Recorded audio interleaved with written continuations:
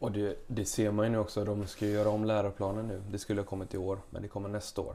Det blir en omstöpning helt och hållet. Kunskapskravet, som det, alltså i alla ämnena, går från att vara ungefär den längden till den längden. Mhm. Och man fokuserar, på, fokuserar mer på yngre åldrar, att det handlar liksom kunskap om och liten bit förmåga. Och sen när man kliver upp i åldern så ökar man förmågan liksom.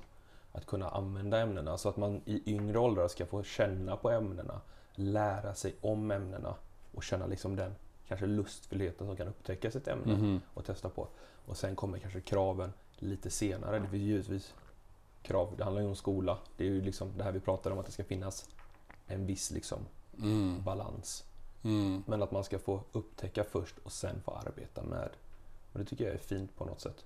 Att man ska få liksom Du känner dig liksom taggad inför det? Ja, jättepositiv. Mm. Det ska bli kul att testa. Sen är det så, som man alltid pratar om allting, det låter bra i teorin. Mm. Hur funkar det i praktiken? Mm. Samhället förändras oerhört fort. Det vi pratade om igår liksom. Från när, när vi var yngre så hade man, man kollade på Prison Break, man ville ha den Motorola flipphonen de hade. Mm. Till att nu liksom är vi snart inne i VR och det är metaverses och allting. Det går fort. Och tänk dig då, det går bara fortare. Det är en exponentiell utveckling. ja. Alltså du kan inte ha tio år mellan förändringar. Nej. Det behöver ske hela tiden. För Ja. att anpassa, för samhället ser För att inte tweaka likadant. liksom. Exakt. Ja. Och där tror jag att skolan tappar mycket. Missar Mm. mycket.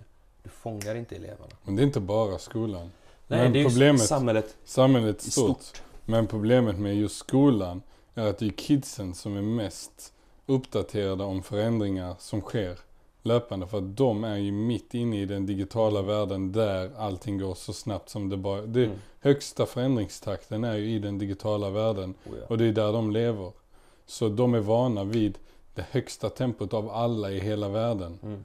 Samtidigt så har de ett skolväsen som rör Som sig dem- långsamt i förhållande till alla vuxna. Precis. Säg till en elev, ja, nu under åtta veckor ska vi läsa.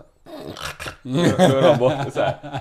Du liksom konkurrerar med TikTok där du kan klämma åtta videos på, på en minut. Liksom. Det, det är jättesvårt att kunna hålla det intresset. Ja, Det ställer ju oerhörda krav på en som lärare. ja, Och det är ju mycket handlar om det att du kan inte bara vara lärare. Det nej. handlade, jag hade en lärare på högskolan som var så himla tydlig med det. Hon undervisade i didaktik.